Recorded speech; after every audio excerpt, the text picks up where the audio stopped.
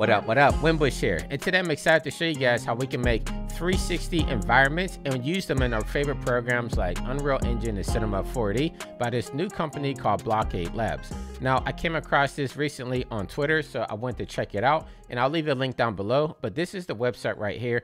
As you can see, it's actually interactive. So when you just click and drag, you can see that these are full 360 environments and you could create these absolutely free. So I'm just going to come down here to where it says conjure your world. I'm going to left click on this. And it's going to come up with this default setting right here. It looks like it's getting pretty popular because it's saying that things might be a little bit slow right now. I know yesterday things were going pretty fast, but let's come down here and let's type in the text prompt. So let's say space inspired Mars type setting, something like that. So let's see what comes up. Like we have about 350 characters to work with here. Down here in the lower right hand corner, we actually have a couple of different prompts that we could do. So you could do fantasy landscape, that's what's on by default. You could do anime style, surreal, digital paint. Let's see what happens when I do scenic and then maybe I'll do realistic next. But let me do scenic first. I'm going to come down here and I'm going to click generate and let it work its magic. Now we can see what kind of environment that it created here. It has, oh, it has some spaceships or something in there. I don't really want that in there. So maybe down in my description, I put like no spaceships, no rockets, plane, environment.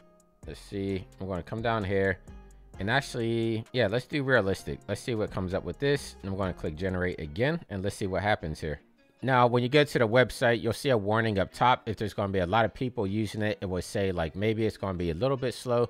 So for each one of these, it usually just take about like 60 to 120 seconds. So just be patient. It does have the bar down there, the status bar. That will let you know when everything's finished. Now this is kind of cool. It's giving us like this nebula scene down here. You can see we have some nebulas here. We have some planets. We do have some spaceships again in here. But as you can see down here in the lower left hand corner, it says it's alpha 0.3. So it's probably still learning from everybody's text prompts in here. I'm going to go with something that I created earlier, and I'm going to show you guys how we can actually bring this into Unreal Engine. But first, if you want to download, like say that you're happy with what you have and you want to download this, make sure you come down here in the lower right hand corner where it says download. So you just click this and then it's going to download a JPEG for you. Now, for anybody interested in bringing this into Unreal Engine, you can't use JPEGs. You're going to have to use a HDR, in which let me show you how we're going to do that. Now, I'm going to be using Adobe Photoshop for this, but you can use After Effects as well, just as long as you can save out a HDR. So inside of Photoshop, I have this scene that I was playing around with earlier. I could probably get the space station out of here. So let me actually come up here. I'm going to try this real quick. I'm going to come down here to the marquee tool. I'm just going to highlight this and then I'm going to right click and I'm going to do content aware fill. Okay. Hit control D. And there we go.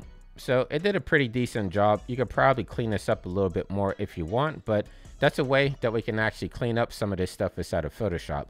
Now, in order to save this out as an HDR, we need to make sure that this file is 32-bit. In order to do that, I'm going to come up here to image, come down here to mode, and right here, it's going to come in as 8-bit because this is a JPEG, but we can make it 32 bits right here.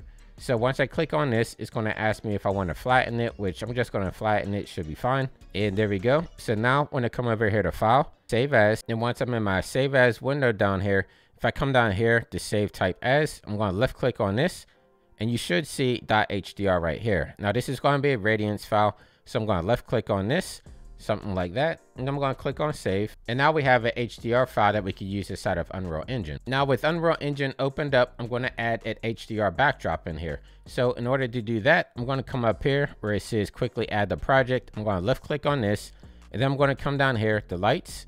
And I'm going to come down here, the HDR backdrop. And I'm going to left click and turn this on. And now you can see that it has a HDR already in there by default. If I just navigate through here a little bit, you can see it's just a simple scene and we're going to replace this. So what I'm going to do now is drag my HDR. So I'm just going to click and drag it down here. I have my file explorer on my second window here. And now you see it says import done. So I can actually just hit save all, just save everything in here. And then with my HDR backdrop selected, I'm actually going to pull this up. And right here under cube map, all you have to do is left click, drag it into here. And now we have it inside of Unreal Engine. Now, if it's a little bit funky down here, like you can see, it might be a little bit distorted right here. if you click on this little purple diamond and you pull it up, you can actually fix some of that. So let me pull this up just like so, until you find something that you're happy with.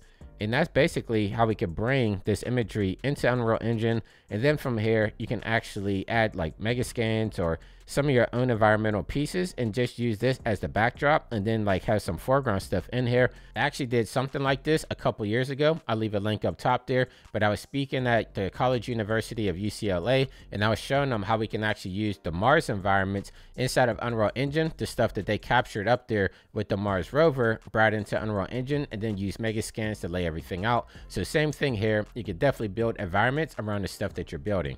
So hopefully this helped you guys out. I know AI is a controversial thing still right now, but as more of these tools are coming out and I'm seeing how we can add them to our workflow, not just take what we prompt out and just throw it out there, I'm starting to see this stuff as more of a valuable tool that we can add to our skill set and make some of the process a little bit easier.